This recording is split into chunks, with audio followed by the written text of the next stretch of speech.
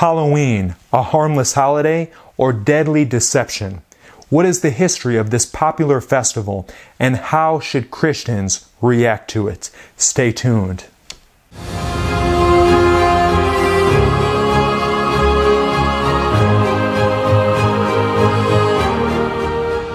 Hi, this is Dustin with Hope Through Prophecy. The topic of Halloween can be quite controversial among Christians. We must go right to the Bible to see what God says about this yearly festival. First, if you're new, please subscribe and click the bell icon so that you're notified of all our future videos. Also, make sure to text Bible to 50597 for a free online Bible study course. Now, let's get started.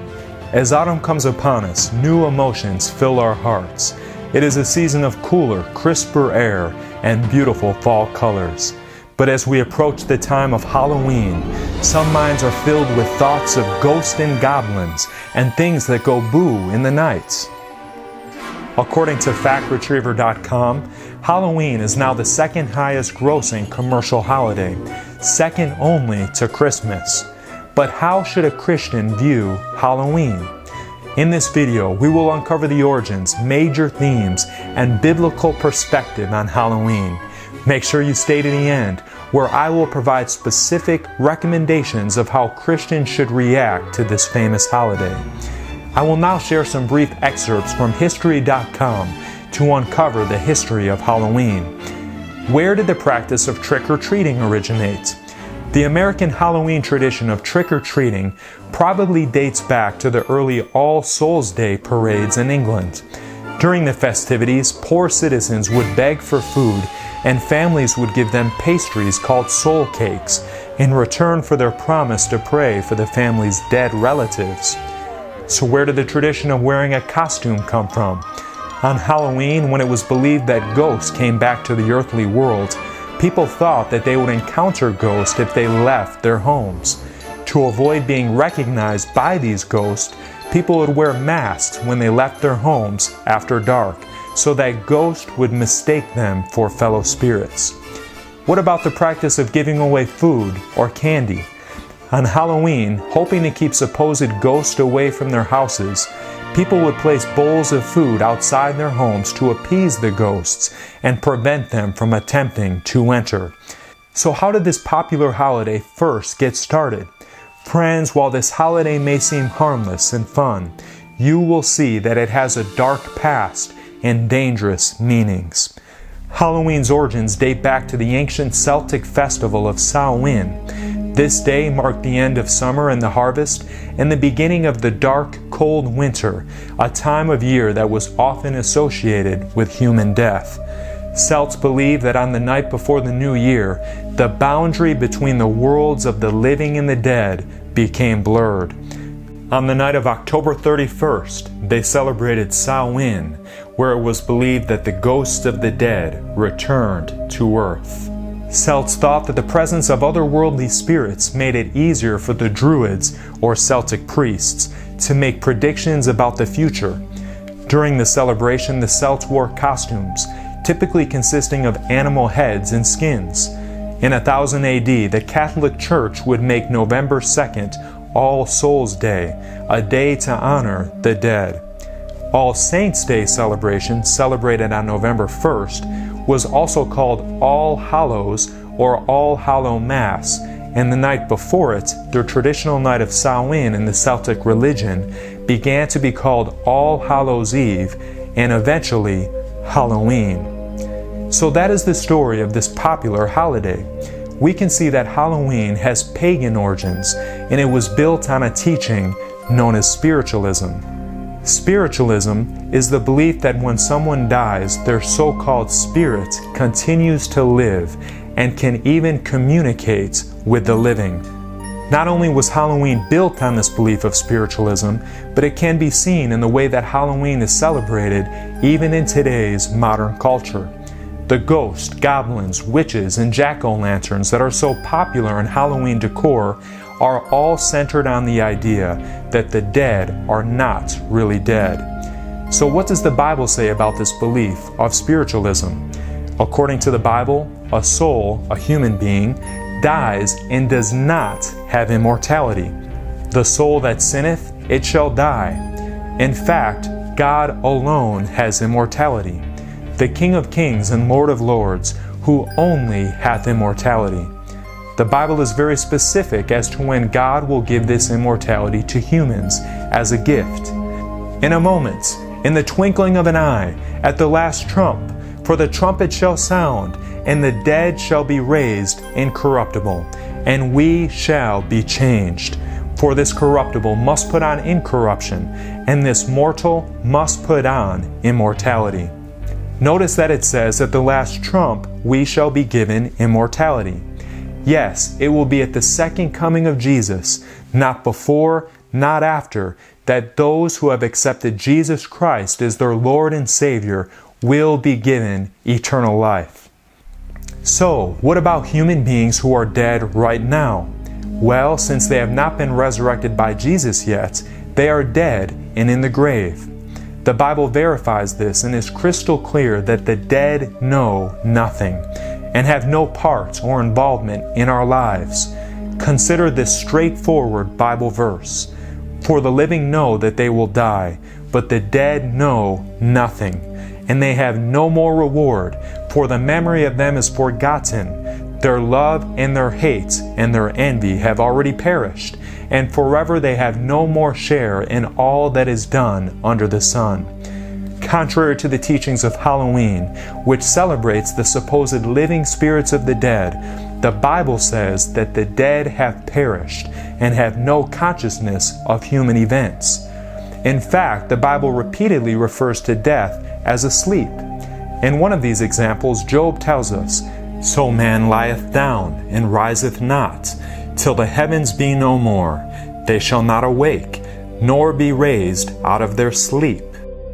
So, what is really happening when we hear of supernatural phenomena such as the appearing of ghosts and seances when people claim to speak to the dead? We can be sure that these occurrences do not involve communication with the deceased. According to the Bible, it is impossible to communicate with the dead. Now, friends, I want to be clear. I am not saying that spirits don't exist.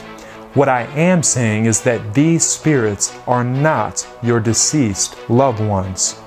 The Bible clarifies who these spirits really are for they are the spirits of devils working miracles.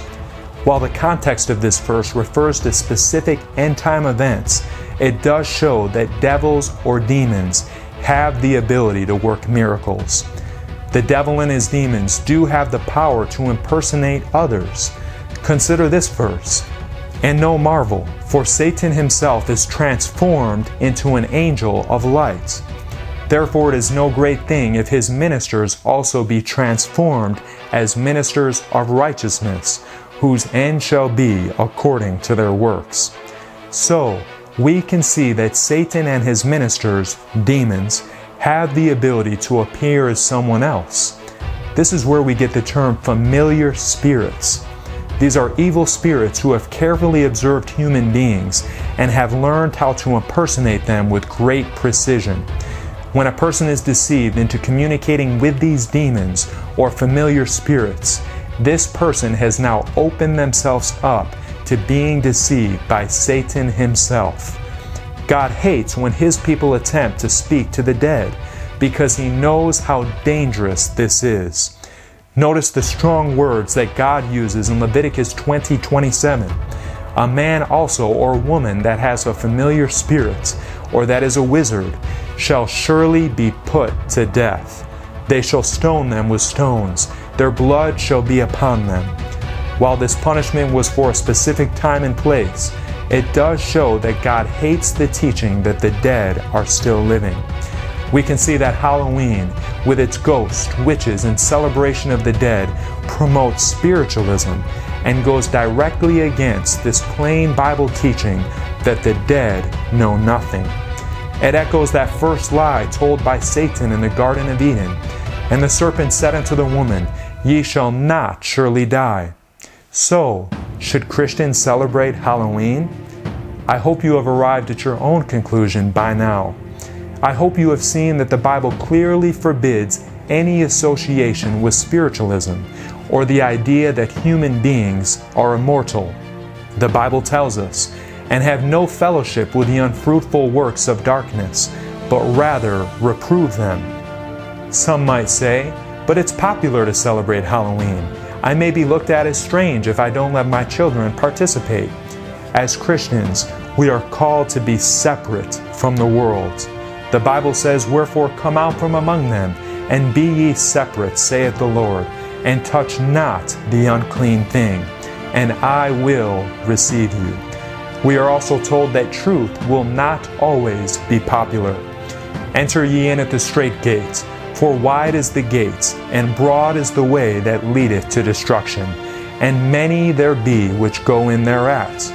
Because strait is the gate, and narrow is the way which leadeth unto life, and few there be that find it.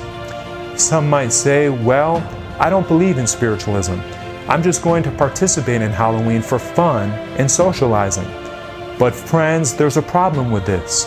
Halloween is so interwoven with evil teachings and practices that we should avoid any association with it. 1 Thessalonians 5:22 tells us to abstain from all appearance of evil. So what is the conclusion? Friends, stay away from Halloween. It is a holiday dedicated to the devil and the false teaching of spiritualism, the teaching that the dead continue to live on after they die. It has no place in the life of a Christian.